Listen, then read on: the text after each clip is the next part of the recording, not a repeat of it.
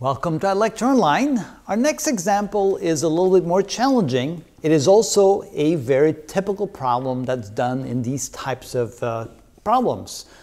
Here we're trying to find the largest volume cylinder that fits into a right circular cone.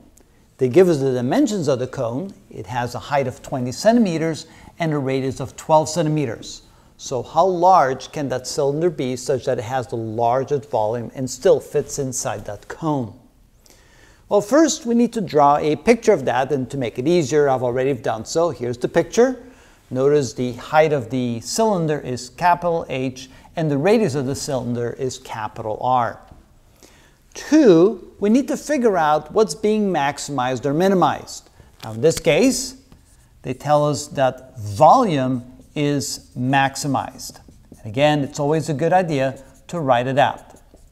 On the next step, we're going to have to write an equation that for the volume as a function of the unknown variables. So the volume of a cylinder can be written as the area of the base, which would be pi r squared, times the height, which is h. Again, notice that we have the volume as a function of two different variables, r and h, which means we're going to have to eliminate one of those variables. For that, we're going to need a constraint. How do we come up with a relationship between r and h so that it fits inside that right circular cone? Now, if we think about taking a cross section of that and taking just the right side of it, it can look like this. So this would be a cross section of the right circular cone, and this would be a cross section of the cylinder that fits inside the right circular cone. So that we have the height of the cylinder in this direction and the radius of the cylinder in this direction. Also, we can come up with an equation for this line right here. That would be the edge of the right circular cone. We think of it in terms of y equals mx plus b. Notice the intercept will occur at 20 because if we put the origin right at the middle right here, we know that the height of the right circular cone is 20 and the radius of this is 12. So we can say that y is equal to the slope, that would be a drop of 20 and a run of 12.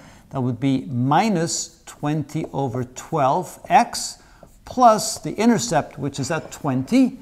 And of course, simplifying that, we can divide both the top and the bottom by, hmm, it looks like 4.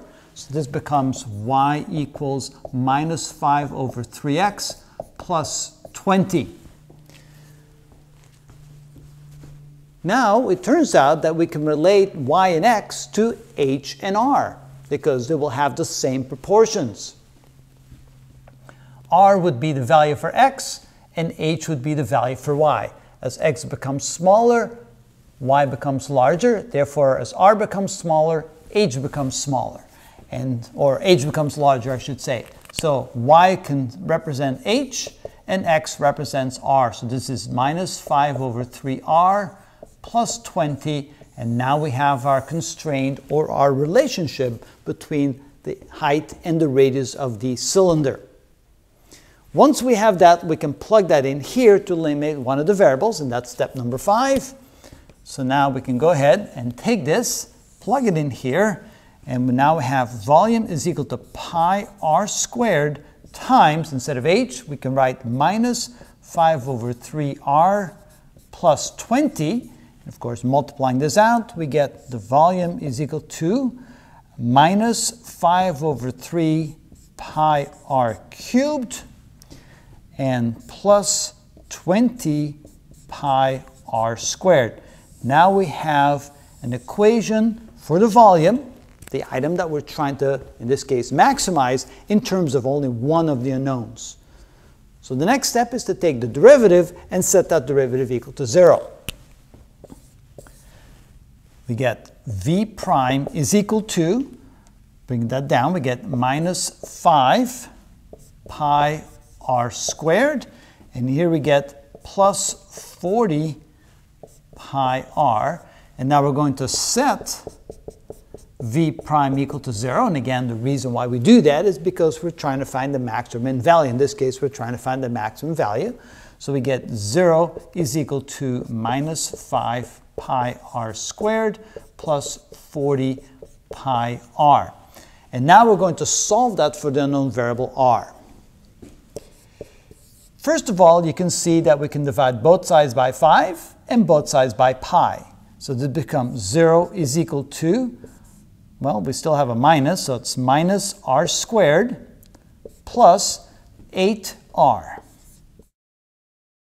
So moving that to the other side, we get r squared is equal to 8r, and dividing both sides of the equation by r, we get r is equal to 8. That tells us one of the two unknowns, the radius of the cylinder, must equal 8. Now we need to find the height of the cylinder, so we plug this value back into the constraint equation.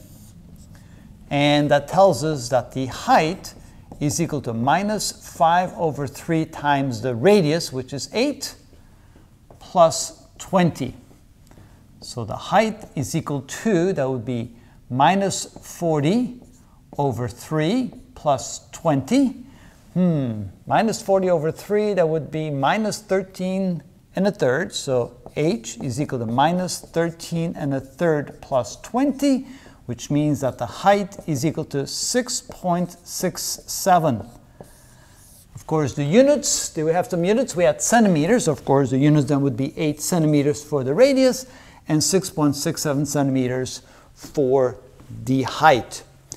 Now we can do a quick check. We can see if that indeed gives us a reasonable value for the volume.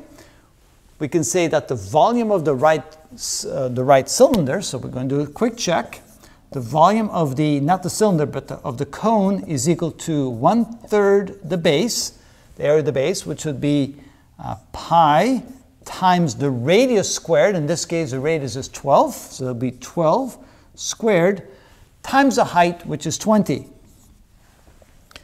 So approximate value of pi divided by 3 is approximately 1. 12 squared is 144 times 20, 288. That would be approximately 2880, a little bit more because pi divided by 3 is a little bit more than 1. And now let's find the volume of the cylinder. And that would be area of the base times the height. So it would be, the area of the base would be pi times 8 squared times the height and the height was 6.67. So again, for approximate values, that would be 64 times pi, a little bit over 3. 64 times a little over 3 is about 200. Times this will give us about uh, roughly 1350. And you can see that that's roughly half of the volume of the right circular cone, which means that we can say that the values at least are reasonable. We don't know for sure it's, it's correct, but we know that they are reasonable. Again, a quick review. We're told to find the largest volume cylinder that fits into a right circular cone. We first start by drawing a diagram that shows the right circular cone and the cylinder inside. We label the variables for the right circular cone and the variables for the cylinder. Step two, we determine what's being maximized and we're trying to find the maximum volume of the cylinder. Then we come up with an equation in terms of the unknown variables. The volume is the area of the base times the height. And then for step four, we try to find the constraint that will allow us to eliminate one of the variables. And we use the concept of the straight line equation y equals mx plus b to relate the variables h and r of the cylinder to y and x of that straight line. Once we've done that, we now have a relationship between the height and the radius of the cylinder we solve for one of the variables and we eliminate h in this equation, now coming up with an equation that is the volume in terms of one variable only. We then take the derivative of that, set equal to zero, and then we solve for the unknown variable. Once we've done it for the one variable, we use a constraint to get the value of the other variable, and then we do a quick check to make sure that we're in the ballpark, that it does seem to be correct. And that's how it's done.